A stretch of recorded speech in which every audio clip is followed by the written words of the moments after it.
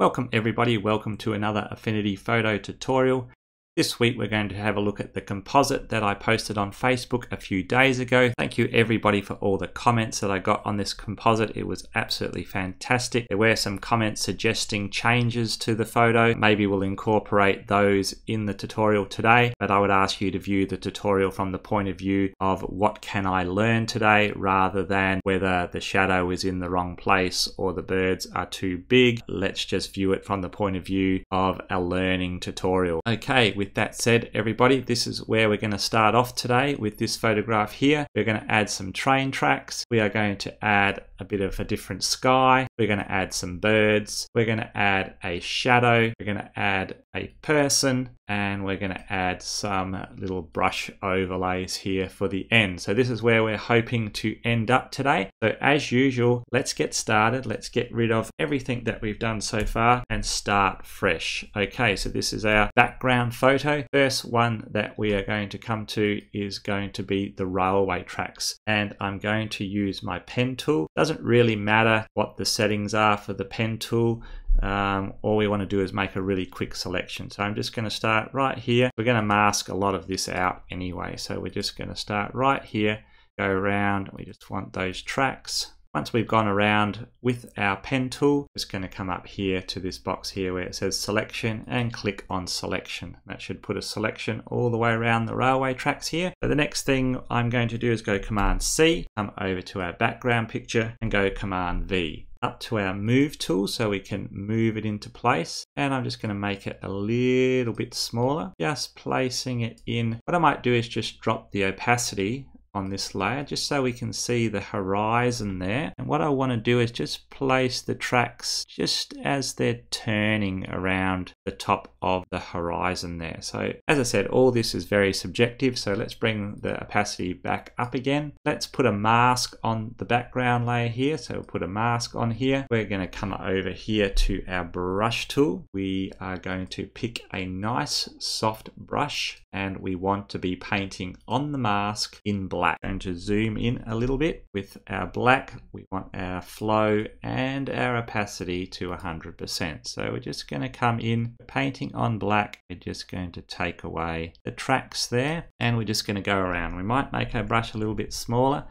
and if we hit X on our keyboard, we can swap to white and we can put the tracks back up, just up to the top there as they're going around the corner. A little bit back in there. Back to black, hitting X on our keyboard. And we're just going to blend this in. We can leave some of the stones here if you like. I'm just going to blend the rest in make my brush a little bit smaller because I want to keep this little railway piece here nice and easy just blending it in. Make my brush a little bit bigger again. As you know I'm doing this quite quickly guys. I know you'll take a lot more time just using my right and left bracket keys to make that brush bigger and smaller. Okay, I'm just going to come over to the other side again. Come right up to this back I think. So we'll just blend it all in.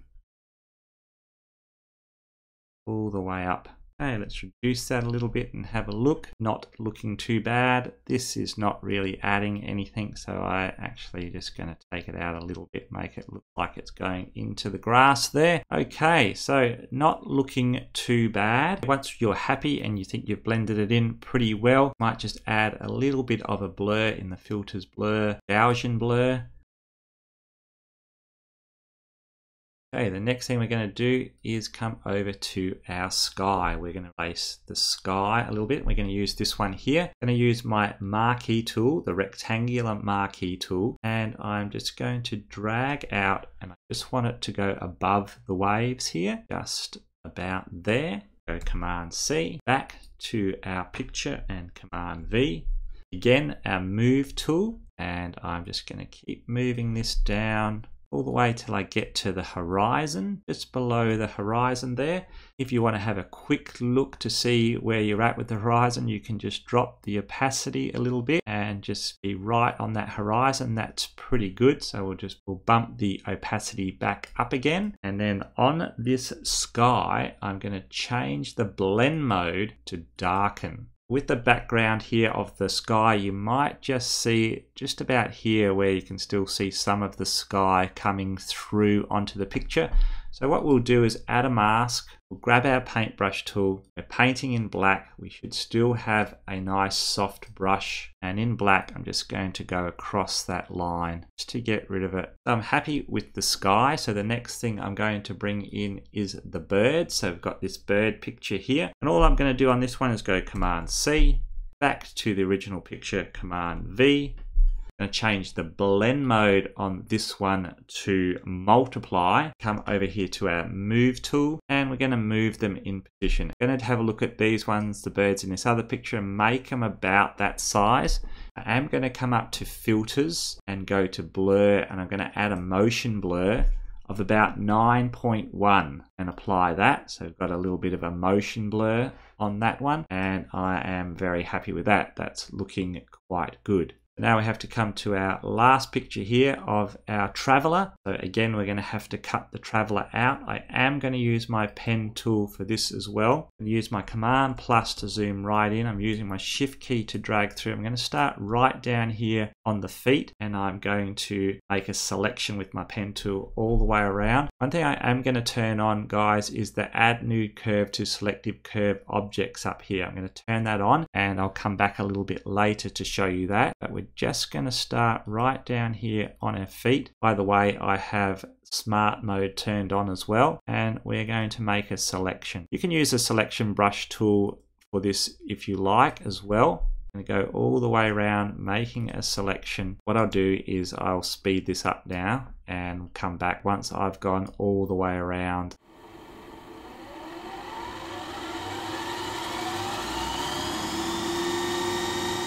So we completed our selection all the way around our traveler here. Zoom out so you can see that. We still got this area here that we have to select as well. I'm going to zoom in a little bit and remember I told you we needed to have this one on here, add new curves to selective curve object. We can keep continuing with our selection in this area because we have this turned on here. Okay, so we'll just quickly do that as well.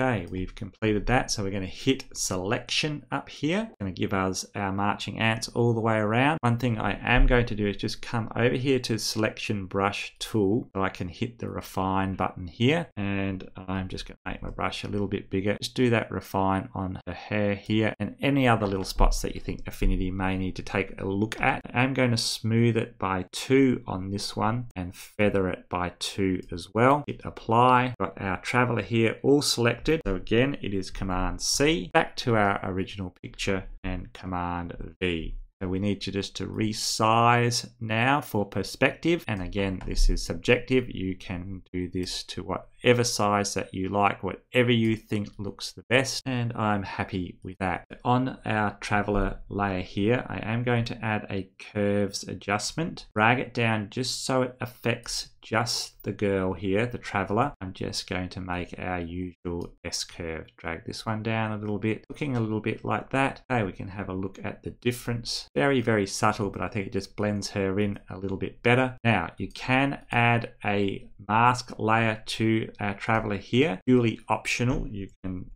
zoom in and you can grab your brush, paint in black, make your brush really nice and small and you can go all the way around and just clean up any bits that you think need a little bit of a tidy up. I'll leave that up to you um, I'll just leave it as is for now. So we'll come back to our traveler layer here. I'm going to go Command J. On this top layer here, come up here to Arrange, come down to Flip Vertical. Grab my Move tool. I'm going to move this one all the way down just onto her feet here. Now, this is one of the suggestions from one of the comments that the light source is over in this direction here. So maybe her shadow should be going off to the side here. So let's do that. And again, everybody, this is is subjective. I'll let you decide where the shadow is going to go. I am no expert on shadows. So let's put it across the track like that for now. On that layer, let's come down here to FX. Let's put a color overlay on it. Let's tick our Gaussian blur as well. And let's put about, we just see it start blurring a little bit? Maybe about eight on that. Let's close it. Let's come up here to opacity. Let's just bring the opacity down to, uh, let's about 50%, maybe a little bit more. Okay, let's leave it at that. So we've got the shadow there. We can move it around a little bit if we want to, if you're not quite happy with it. Again, completely subjective. I'll let you decide where you want the shadow. Okay, so there's two more things that we are going to do. We're going to add a pixel layer. This pixel layer, I'm going to grab my eyedropper tool up here and drag it. And I want just sort of a light color from the sky here. Let's click on it to activate it. Come to our brush tool. We are going to pick a nice soft brush again. Going to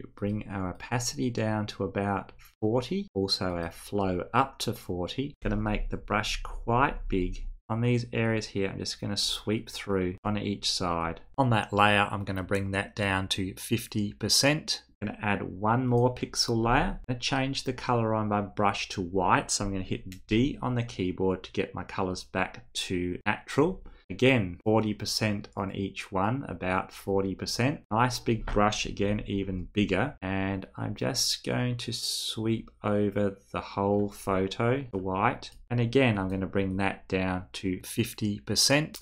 Well, there we go, everybody. That is the tutorial for this week. This is where we started. This is where we ended up. I really do hope that you have learned something in Affinity Photo this week. I really hope that you enjoyed the tutorial. If you did, please give it a thumbs up. Please consider subscribing to my channel. And until next time, I'll say to you, be brave, go out and do something amazing, and I'll see you in the next video.